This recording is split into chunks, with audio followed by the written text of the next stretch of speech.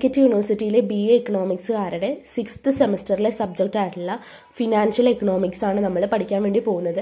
അപ്പോൾ അതിന്റെ സിലബസ് കാര്യങ്ങൾ ഓരോ മൊഡ്യൂളിലും വരുന്ന ടോപ്പിക്സ് ഏതൊക്കെയാണ് എന്നൊക്കെയാണ് നമ്മൾ ഈ വീഡിയോയിൽ നോക്കാൻ വേണ്ടി പോകുന്നത്. നമുക്ക് ആകെ അഞ്ച് മൊഡ്യൂളാണ് ഫിനാൻഷ്യൽ എക്കണോമിക്സിൽ പഠിക്കാനുള്ളത്.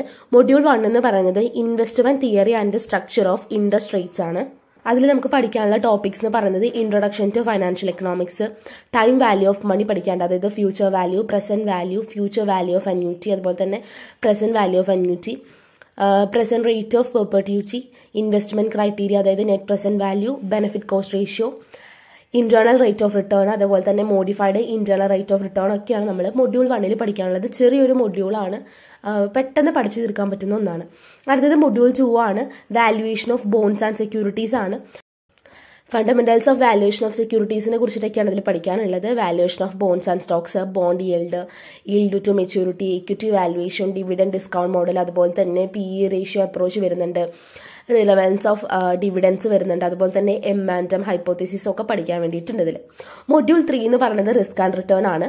അതിൽ types of risk historical return and risk പഠിക്കാനുണ്ട്. കമ്പ്യൂട്ടിംഗ് ഹിസ്റ്റോറിക്കൽ റിട്ടേൺസ് ഉണ്ട്. ആവറേജ് ആനുവൽ റിട്ടേൺസ് പഠിക്കാനുണ്ട്. Variance of returns measurement of risk and return of an asset measurement of risk and return of portfolio determinants of beta risk return trade off ഇതൊക്കെയാണ് നമുക്ക് മൂന്നാമത്തെ മൊഡ്യൂളിലും പഠിക്കാനുള്ളത്. അത്യാവശ്യം ചെറിയൊരു module തന്നെയാണിത്. ഇത് പഠിക്കാൻ വേണ്ടിയിട്ട് എളുപ്പം തന്നെയാണ്.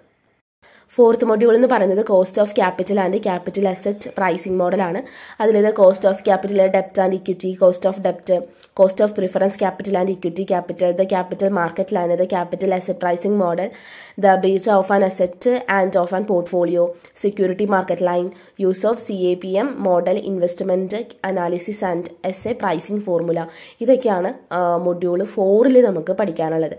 മൊഡ്യൂൾ ഫൈവ് എന്ന് പറയുന്നത് ഡെറിവേറ്റീവ് മാർക്കറ്റ്സ് ആണ്. അത്യാവശ്യം വലിയൊരു മൊഡ്യൂളാണിത് and introduction to financial derivatives type and use of derivatives അതുപോലെ തന്നെ forward contracts determination of forward prices future contract theories of future prices the cost of carry model the expectation model capital pricing model relation between spot and future prices forward versus future contract അതുപോലെ തന്നെ hedging in futures options അതായത് types value of an option the pay off from buying and selling of options the put the put call parity theorem അതുപോലെ തന്നെ binomial option of pricing model അതായത് B O P M and Black Scholes option pricing model ഇതൊക്കെ തന്നെയാണ് നമുക്ക് module ഫൈവിൽ പഠിക്കാനുള്ളത്. അത്യാവശ്യം വലിയ മൊഡ്യൂളാണ് മാക്സിമം എല്ലാ ചാപ്റ്റേഴ്സിന്റെ വീഡിയോസും ഞാൻ ഇടാൻ നോക്കാം. അതുപോലെ തന്നെ ഓരോ പോയിന്റ് പോയിന്റ്സ് ആയിട്ട് നമുക്ക് പഠിക്കാം. അതായത് ഓരോ ടോപ്പിക്കിലും കുറച്ച് പോയിന്റ്സ് വെച്ചിട്ട് അതിന്റെ മെയിൻ കണ്ടന്റ് മാത്രം പഠിച്ചു പോകുന്ന രീതിയിൽ അതായത് എല്ലാം വാരി വലിച്ച് പഠിക്കാണ്ട് അത്യാവശ്യമുള്ള നല്ല കണ്ടന്റ് മാത്രം പഠിച്ചിട്ട്